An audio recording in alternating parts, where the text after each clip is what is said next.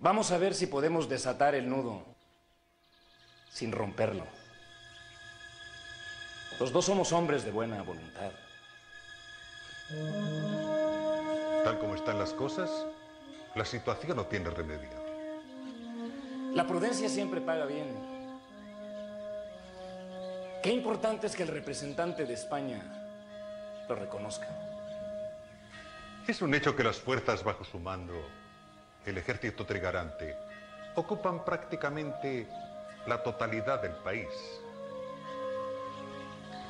La situación no tiene remedio para la corona de España a la cual represento.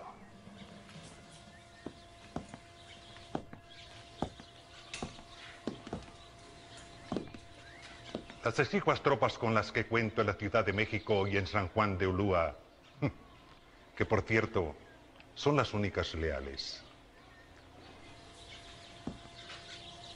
serían insuficientes para hacer frente a la corriente independentista que usted representa. Todos están de acuerdo. Por otra parte, hemos invitado a un miembro de la Casa de Borbón para que sea coronado como soberano de México. España debe estar orgullosa. Yo soy un liberal, y usted lo sabe. Me parece bien que un miembro de la familia reinante venga a México. Pero mi mayor orgullo reside en que se establezca una monarquía constitucional y que se adopte en México la constitución de Cádiz. No le quepa duda de que así será. Así lo propuse y lo creí conveniente. Ese es el plan aceptado por todos. Habrá que tener cuidado.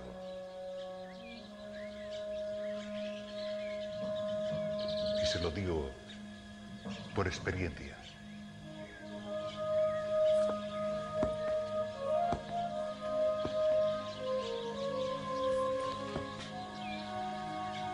Desatamos el nudo sin romperlo.